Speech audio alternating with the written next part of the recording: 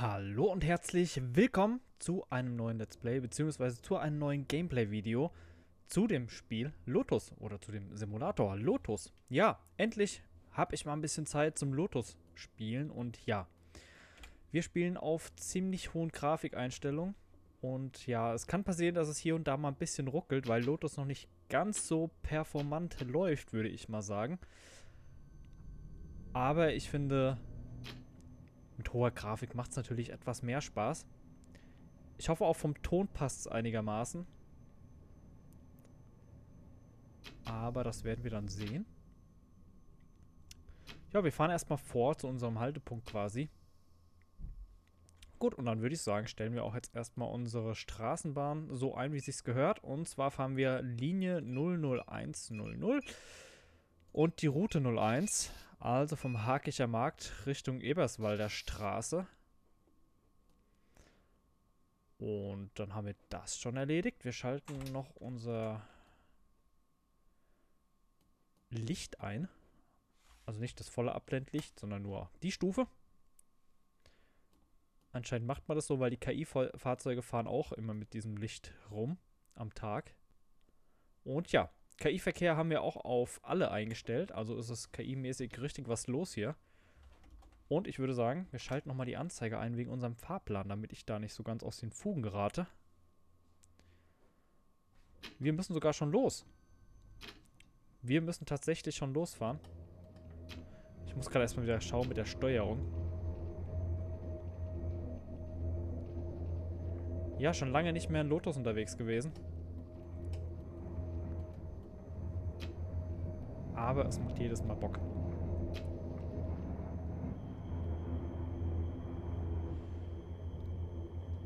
Auf jeden Fall macht Lotus Bock. Ja, ich fahre übrigens wieder mit Controller beziehungsweise mit meinem Thrustmaster Throttle oder wie sich das Ding nennt. Genaue Bezeichnung steht äh, in der Videobeschreibung.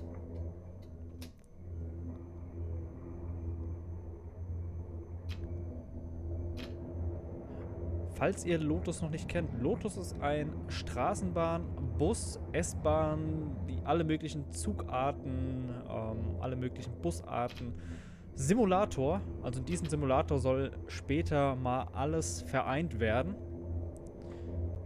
Ähm, Lotus ist in Mo äh, mehreren Modulen aufgeteilt, zum Beispiel das Schienenmodul, was wir gerade benutzen. Oder halt, es gibt auch das Busmodul extra zu kaufen und dann kann man jeweilige Fahrzeugklassen oder Fahrzeugtypen fahren. Lotus kann man auch im Multiplayer spielen. Und da ist es egal, ob ich jetzt zum Beispiel nur das Schienenmodul besitze und ein anderer Spieler das Busmodul. Das heißt, er kann dann Bus fahren, ich kann Zug fahren auf der gleichen Map. Aber sehen tut man sich trotzdem gegenseitig. Man kann halt nur den das Fahrzeug von dem anderen quasi dann nicht fahren. Ja. Ganz grob zusammengefasst. Und ich muss gerade erstmal wieder schauen, wie hatte ich die Tastenbelegung. Na gut. Am Controller funktioniert es nicht. Habe ich wohl doch nicht am Controller eingestellt gehabt. Gut zu wissen. Gut zu wissen. Aber Tastatur rettet.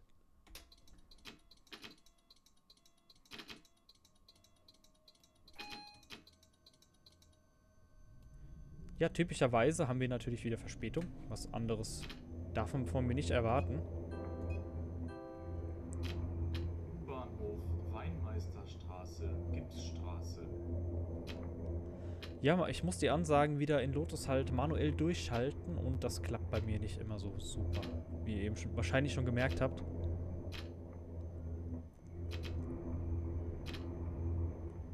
Und da vorne sehen wir schon KI-Verkehr.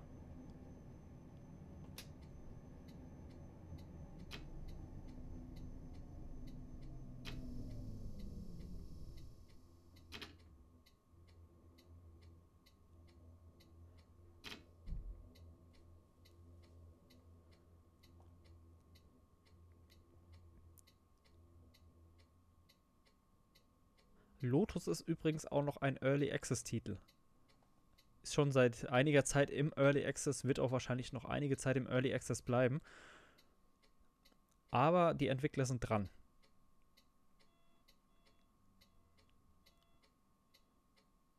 Ich muss sagen, dass Lotus sogar eins meiner Lieblingsspiele ist, allein weil es diese Vielfalt bietet und diesen großen Realismus.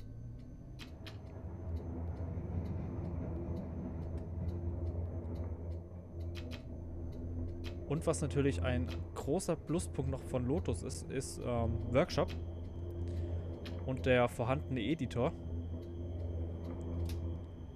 Man kann quasi Fahrzeuge selber erstellen. Man kann, wenn man sich in Blender oder in sonstigen 3D-Modeling-Software auskennt.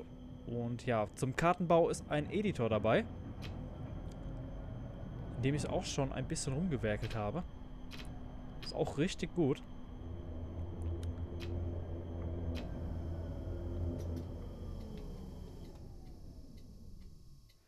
Ja, wenn man fast die Haltestelle verpasst.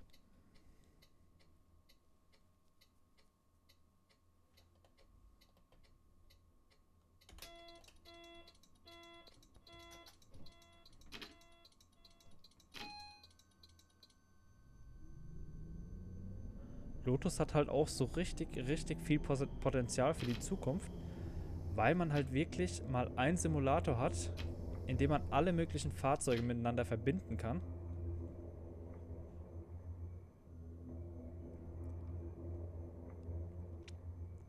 Das kann dann schon eine richtige Gaudi werden im Multiplayer. Der übrigens jetzt auch schon funktioniert. Aber ich habe noch nie bei einer Multiplayer-Partie mitgemacht.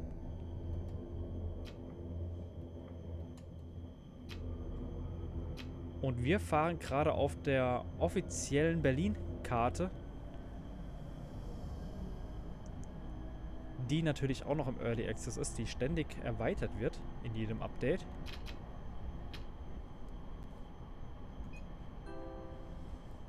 U-Bahnhof Rosenthaler Platz. Aber für den Early Access sieht die Karte schon echt gut aus.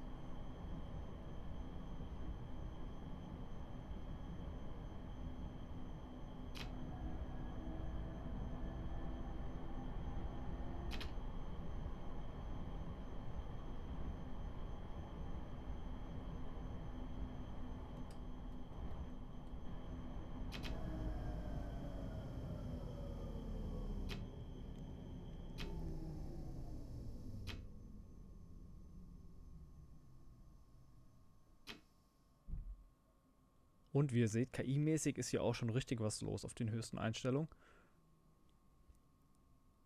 Ich bin ja auch schon seit längerer Zeit jetzt bei Lotus mit dabei. Hab noch die Zeiten ohne KI erlebt.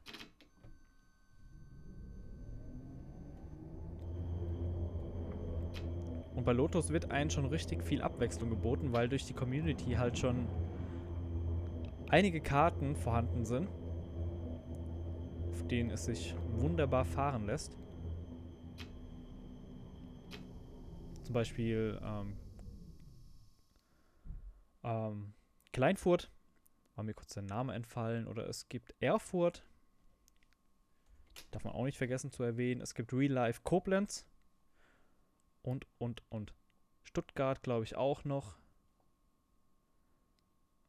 Und diverse andere.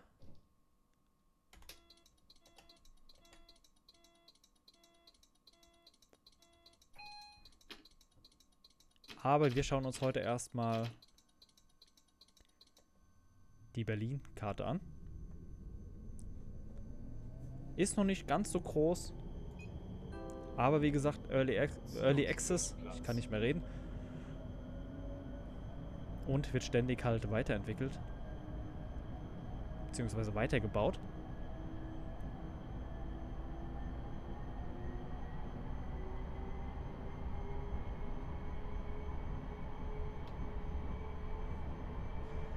Ja, hier am Berg muss die Straßenbahn schon ganz schön kämpfen, um da hochzukommen.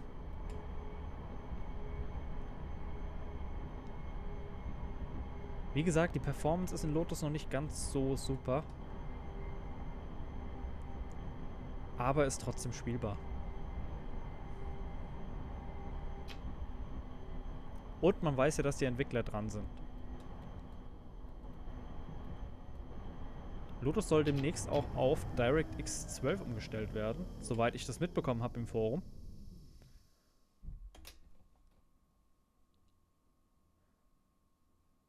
Das dürfte dann auch das AMD-Problem lösen, weil ich habe stellenweise auch das Problem bei Lotus, dass das einfach einfriert und es lässt sich anscheinend auf die AMD-Grafikkarte zurückführen, weil die nicht so gut mit OpenGL klarkommen.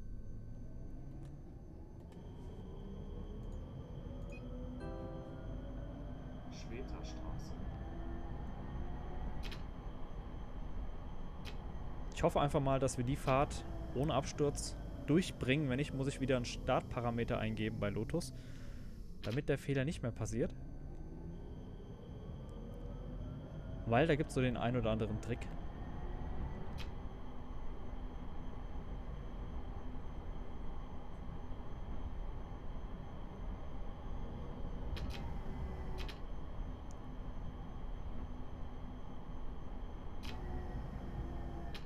Viele meckern ja auch immer über die Grafik in Lotus, aber ich muss sagen, ich finde die eigentlich gar nicht schlecht. Ich finde die sogar recht realistisch, weil in vielen Spielen ist ja die Farbe ein bisschen überdreht. Ja, die Farben leuchten, strahlen und, und, und. Und ich finde, so ein Lotus ist das so ein bisschen angenehm gehalten.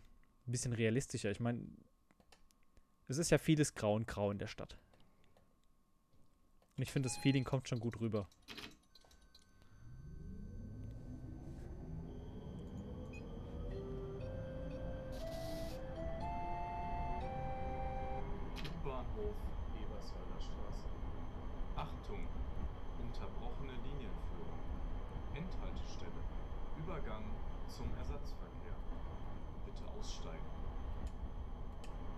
Ihr habt's gehört, wir befinden uns dann schon an der Endhaltestelle.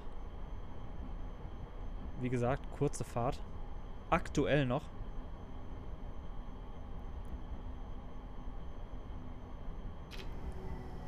Und ich muss noch ein bisschen bremsen, sonst rasen die zu doll in die Kurve rein. Ja, da oben sieht man auch schon ein Stück von der, ja, wie nennt man, Brücke, Überführung. Keine Ahnung, von der S-Bahn müsste das sein. Die später dann natürlich auch befahrbar ist. Oder zumindest KI-mäßig. Ich weiß jetzt nicht genau, was alles später mal in Lotus vorhanden sein soll. Zum selber erfahren. Aber notfalls wird es bestimmt User geben, die da was Fahrbares basteln.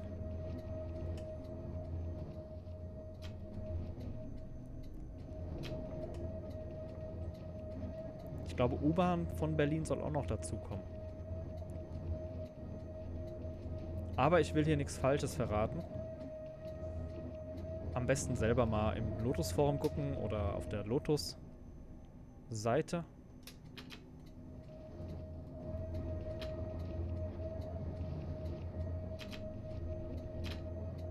Ähm, ja, da bremse ich jetzt lieber nicht mehr.